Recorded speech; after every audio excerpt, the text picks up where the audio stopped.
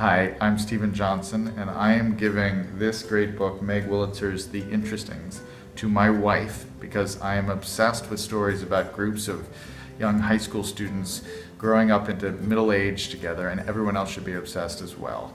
Giving a book is a great present, it expands your experience of the world, and it's so much better than a scarf.